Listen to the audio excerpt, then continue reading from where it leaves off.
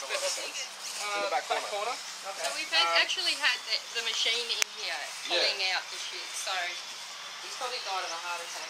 To get your back corner. out of the I've way. seen him right in that back corner in that little hole there. And then he's ducked under the pallet that you're pretty much standing on. Oh, so he's under here, is he? I believe so.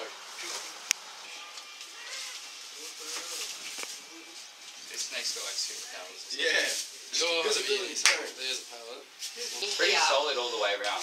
That's built. If we could have put out, I think we would have one. We had the yeah the machine in here would have definitely done a. Yeah. There, There it it is. is. There it is. Josh. Move back so I can see. There he is. Ah. Uh, Ooh, that's a little thought. Come at Oh nay. no, that's better. oh, is that a copper? Yeah. Is he dead? Careful one, does he take? That's alive. Oh, there's his analytic. This is Get over here. Is that the same one that you saw, Stephen? Uh, ready so?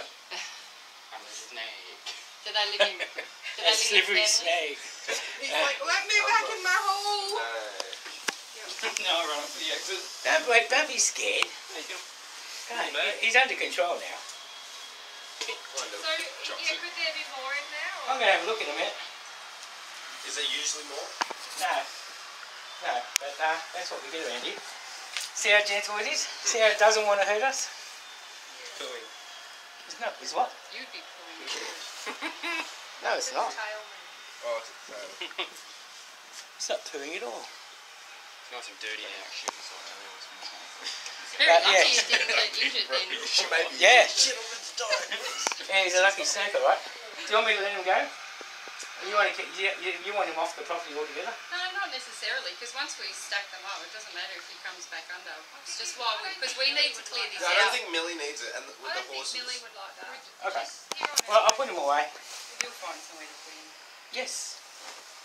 Okay. When put him in the Ladies, flora and fauna. Huh? You put him in the flora and fauna. no, we're not allowed to release in the flora and fauna uh, anymore because there's like 100 years of snake catchers doing that, so it's probably not a good idea. There's just a little bit too many snakes there. And I would Yeah, I've seen quite a few of them.